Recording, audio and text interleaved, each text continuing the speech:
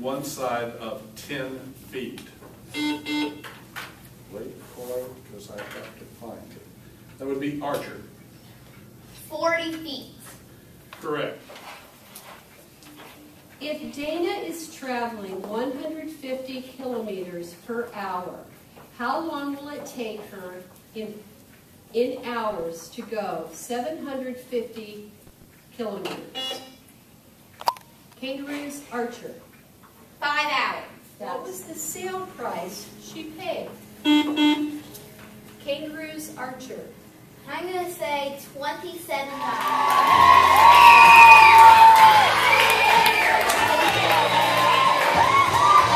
School you attend.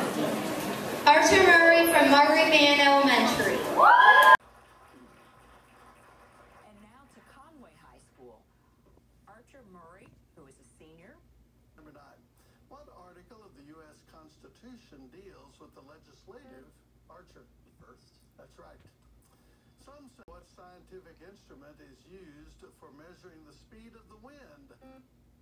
Archer. Anemometer. That's right. Question.